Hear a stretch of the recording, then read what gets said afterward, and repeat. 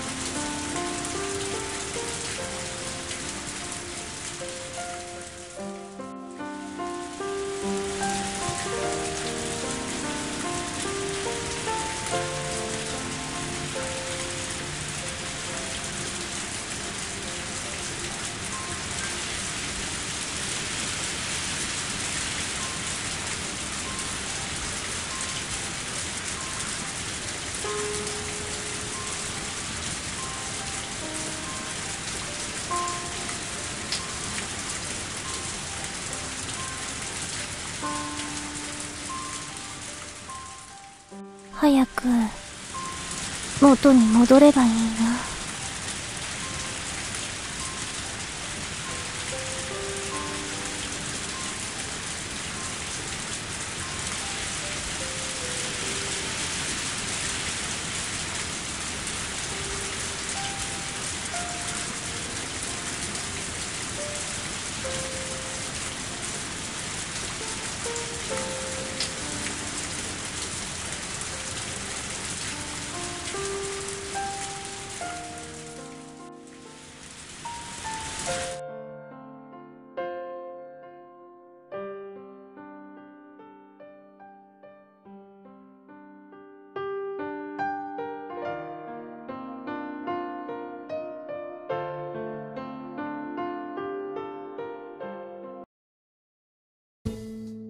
お疲れ様です。あれ？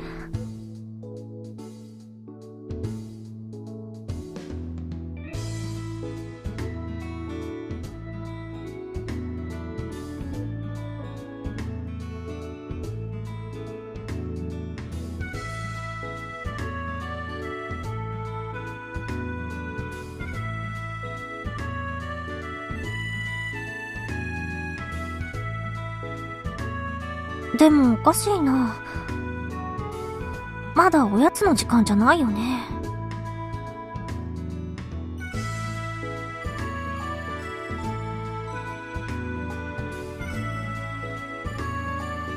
いい加減にしてください畠山さん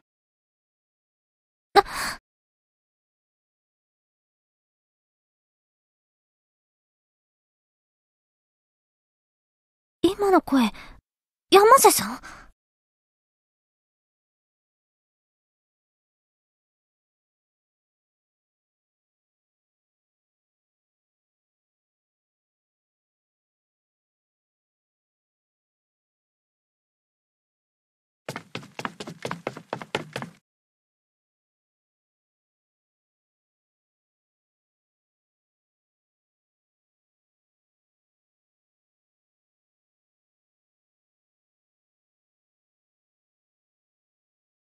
ご、ごめんなさい。ちょっと通してください。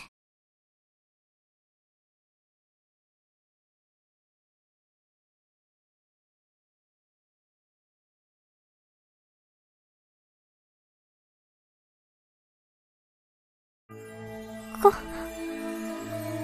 これ、何？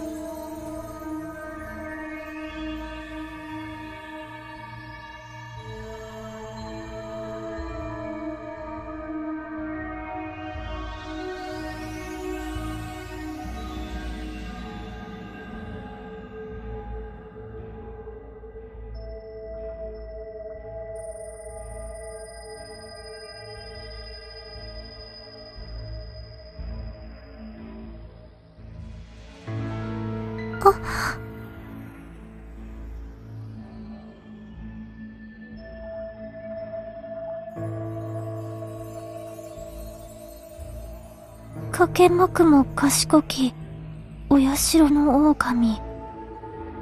払えたまい、清めたまえと申すことを、きこしめせと、かしこみ、かしこみ、も申す。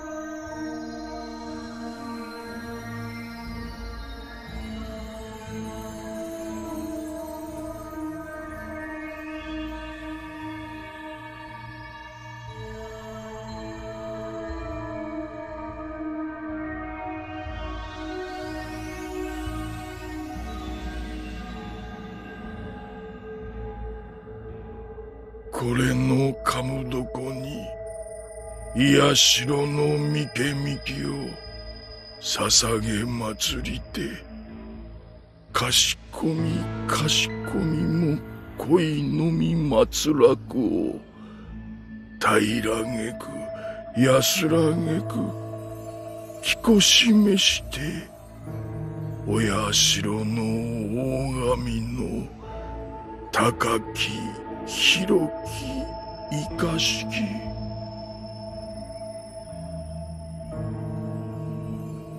かけまくも賢きお社の大神。払えたまい清めたまえと申すことをきこしめせと。かしこみかしこみも申す。やめてください。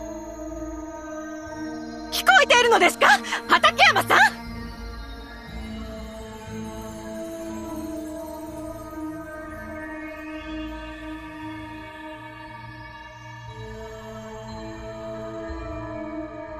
いいですか？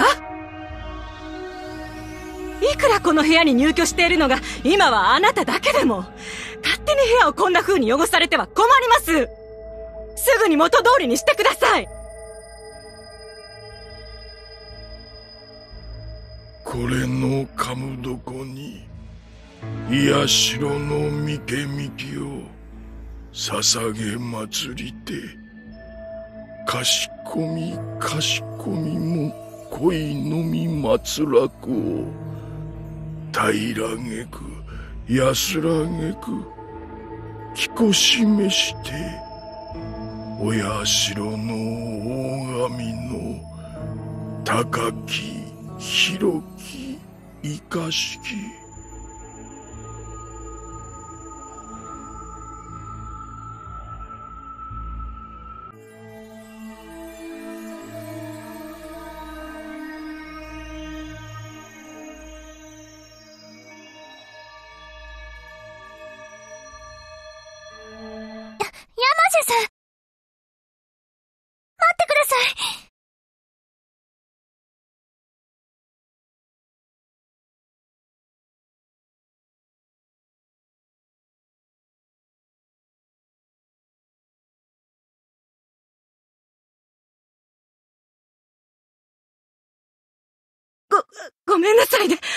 私。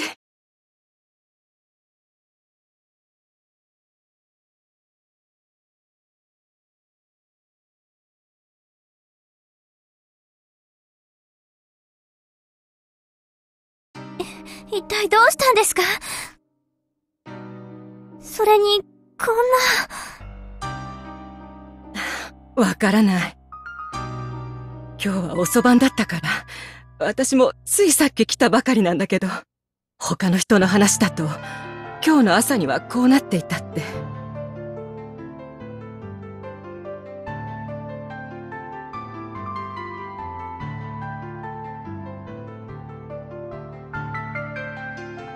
これのかむどこに癒しろのみけみきを捧げ祭りてかしこみかしこみも恋のみ祭らくを平げく安らげく着こしめしてお社の大神の高き広き生かしき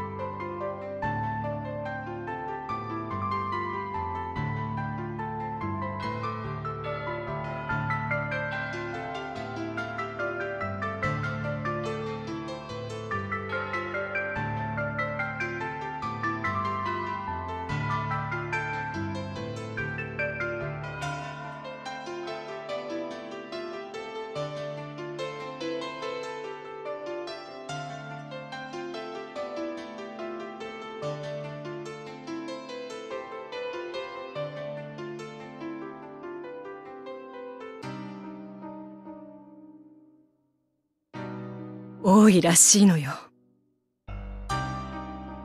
え？ひなみ沢出身の人は、気候や妄言で周囲に迷惑をかけるって噂があってね。私も今まではまさかって思っていたけど。そんな、それは違う。あの、すみません。山瀬さん、お客様が。後にしてください。今立て込んでいますから。でも、その。お忙しい中申し訳ありません。お時間は取らせませんので、ご協力をお願いできませんでしょうか。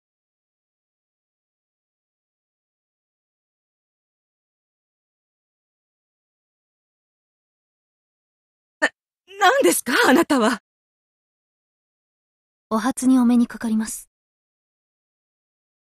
私、柿内署の刑事で、見ないと申すものです。見ない？刑事？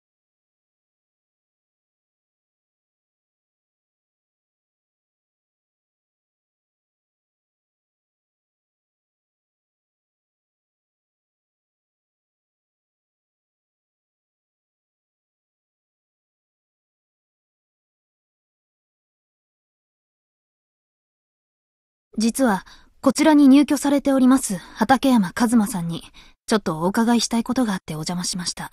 面会をお許しいただけますでしょうか？ど、どういったご用件でしょうか？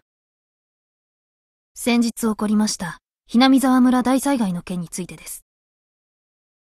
畠山さんのご一家がひなみ沢村の出身だとお聞きしまして、少々お話をお伺いできればと。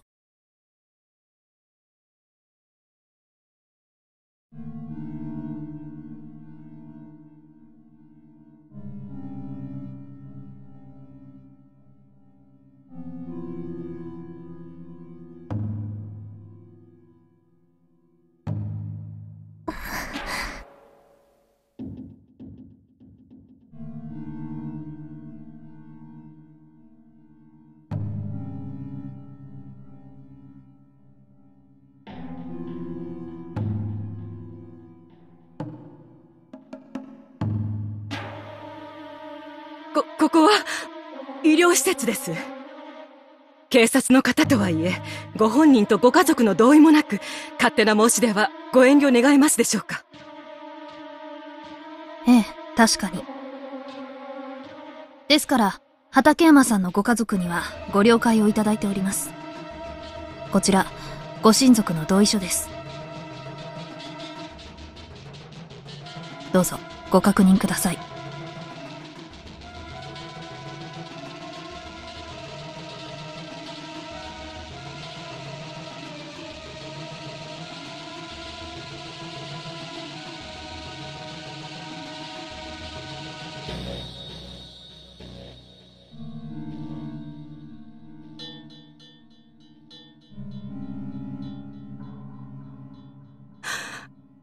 身近にお願いします。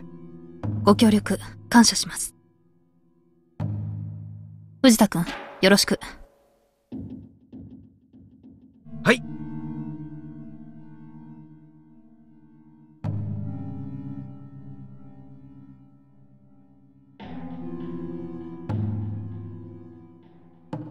さて。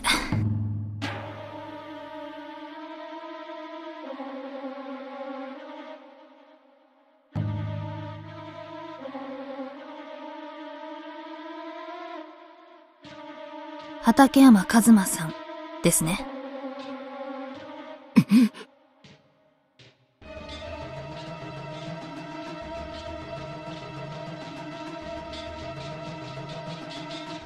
ひなみ沢の一件、テレビで拝見しました。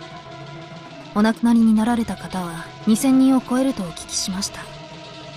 突然のご不幸、さぞかしご心労のこととお察し申し上げます。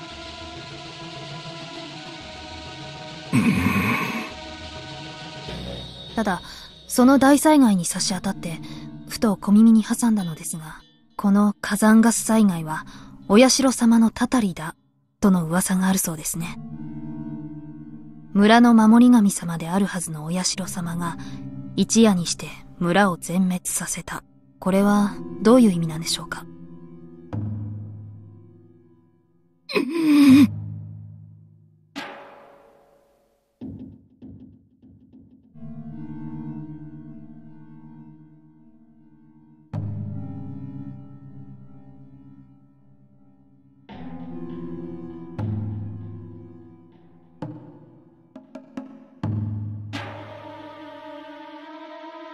の写真わかりますか？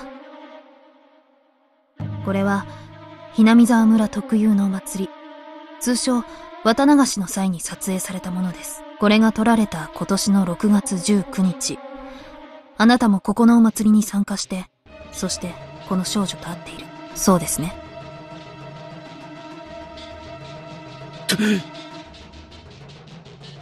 この少女、古出理香はお社様の巫女だそうですね。そして、大災害が起こった前日の6月22日、何者かの手によって変死を遂げている。そして、この子が殺されたことで、たたりが起きたとあなた方は考えている。たたりは、古出家の当主が殺されたからだと。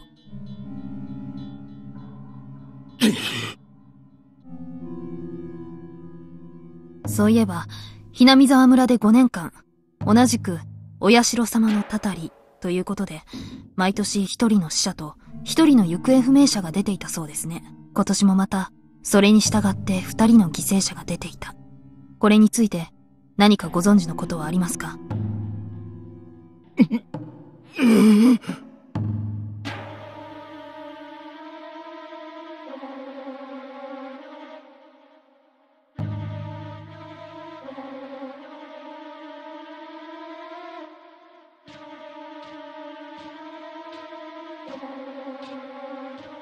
畠山さん？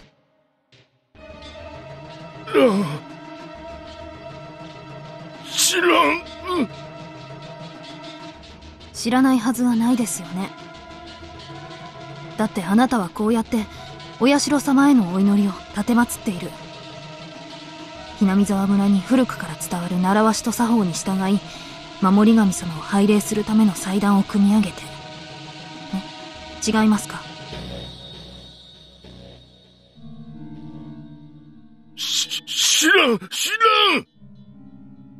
わしは何も、何も知らん、うん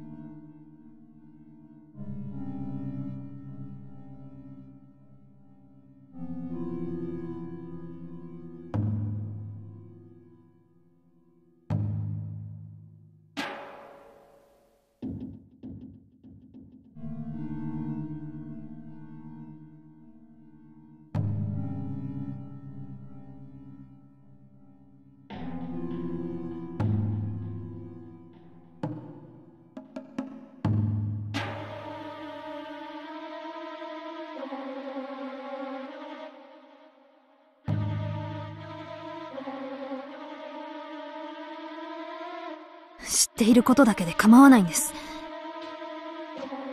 何でも、どんな小さなことでも十分です。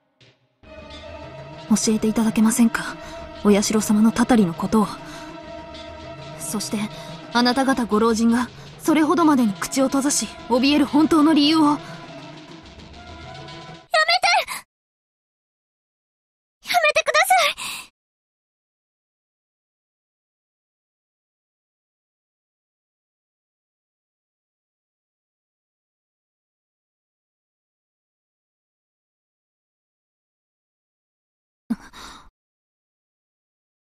なた、何を？こ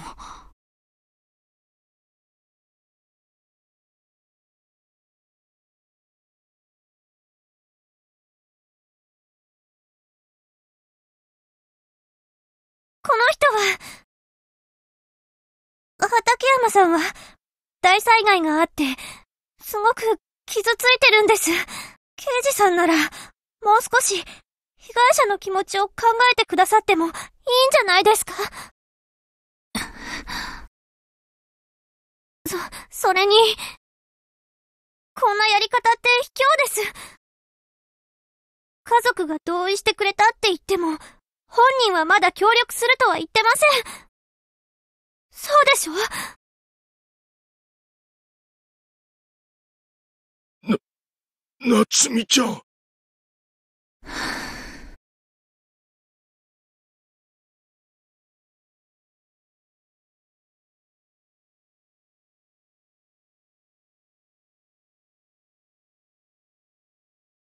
ずいぶん親身にかばうのね。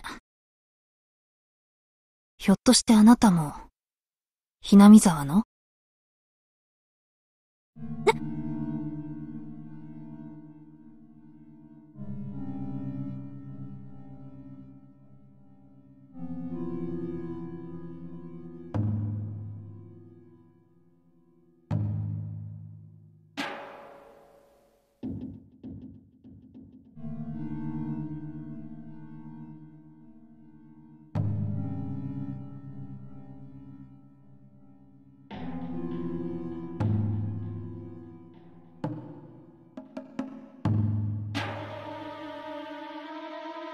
南沢出身の人は、飛行や妄言で周囲に迷惑をかけるってね。私もまさかとは思っていたけど、こうして実際に見ちゃうと。やっぱり、あなたも？ち、違いますわ、私、ひなみ沢の人じゃないです。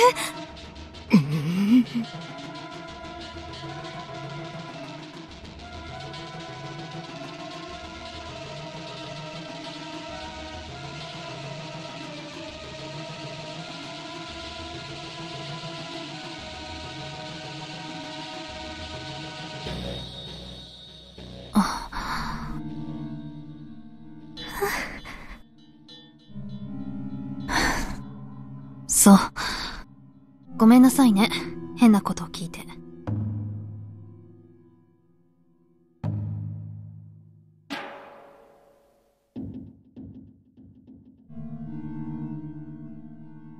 ちょっとね、捜査に行き詰まっていて。ひなみ沢の人たちって、警察の聞き込みには非協力的でね。気が立ってたとはいえ、とんだ言いがかりだったわ。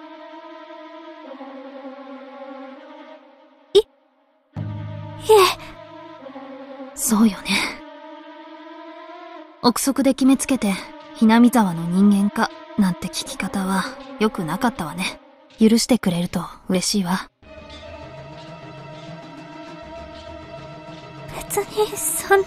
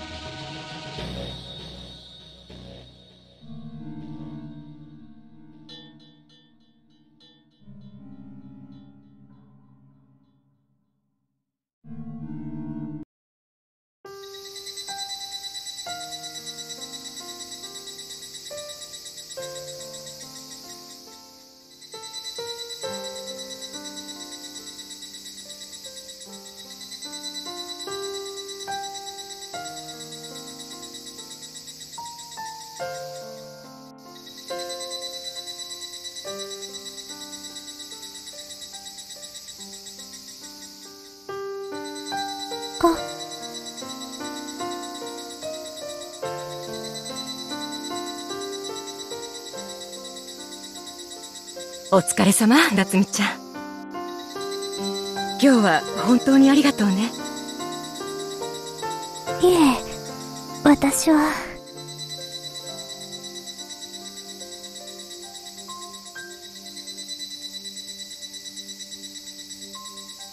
ごめんなさいね。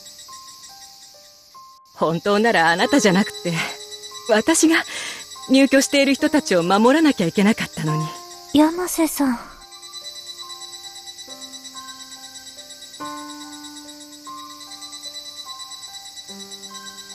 私こそごめんなさい。山瀬さんが許可したのに、勝手に出張っちゃって。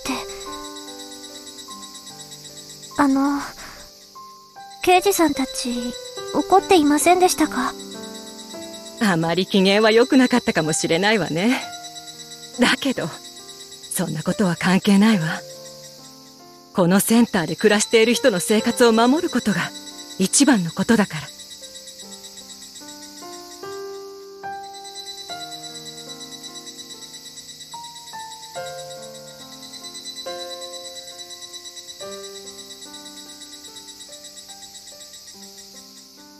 実はねさっきの会議で畠山さんを精神科の病棟に移す話が出たの。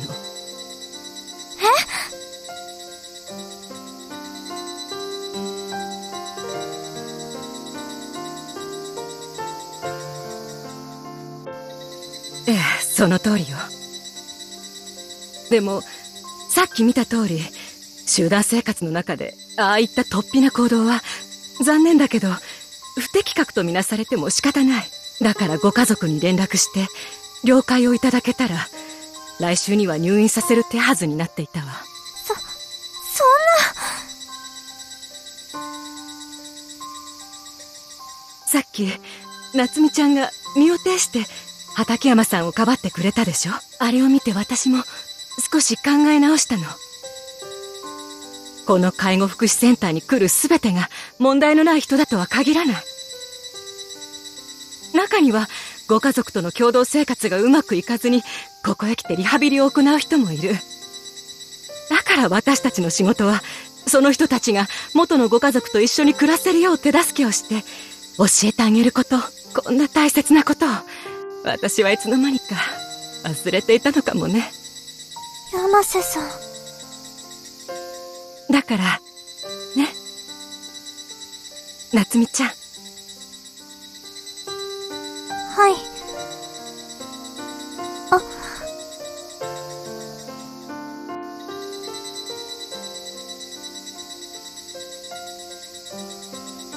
高校を卒業したら、ぜひ介護士の資格を取りなさい。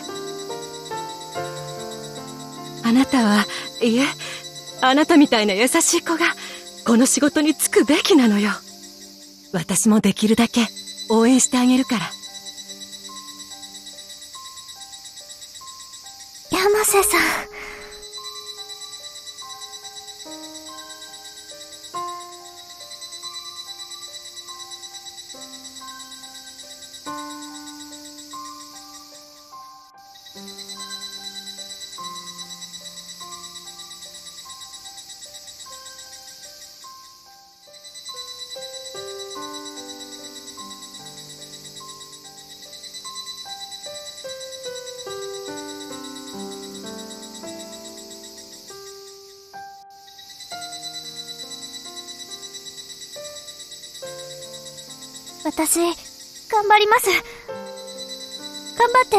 取れるように勉強して、もっともっと役に立てるようになって、山瀬さんと一緒に働けるようになります。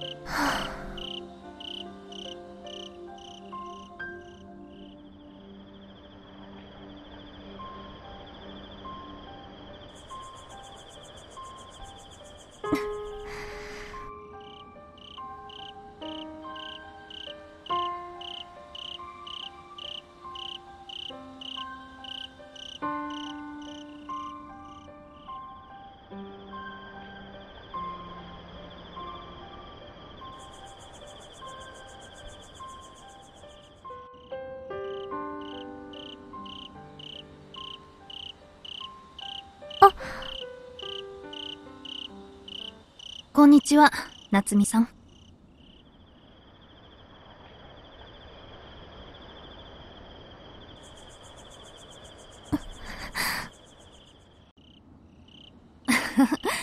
そう睨まないでちょうだい。私も仕事柄、ああいった聞き方しかできないの。嫌な思いをさせたことは、本当に悪かったと思っているわ。畠山のおじいちゃん、熱を出して入院しました。あなたのせいです。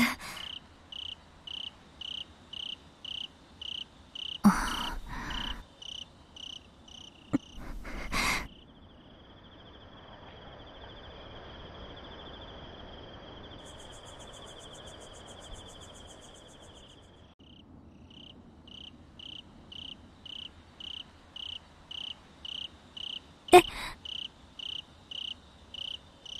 やりすぎたことは認める。捜査が行き詰まって、気持ちがせいて強引に聞き込みをしたことは私のミスです。ごめんなさい。もう同じことはしないって、ここで誓うわ。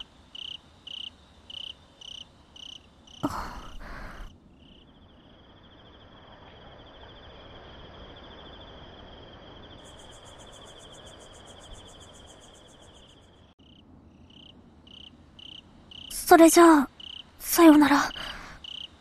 ええ、また会いましょうね。君吉夏美さん。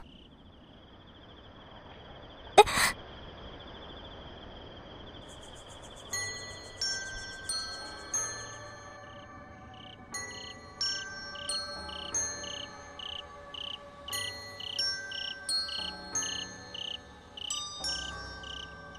胸の名札見えたからね。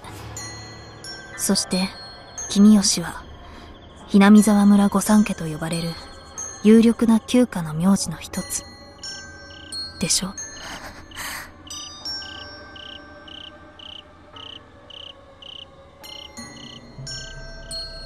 ねえ、君吉夏美さん。ひなみ沢村のことは、本当にお気の毒だったと思っている？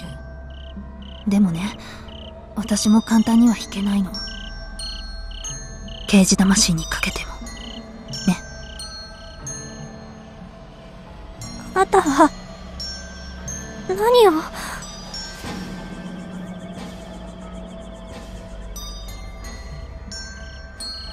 真実を。そして、あなたが知るすべてを。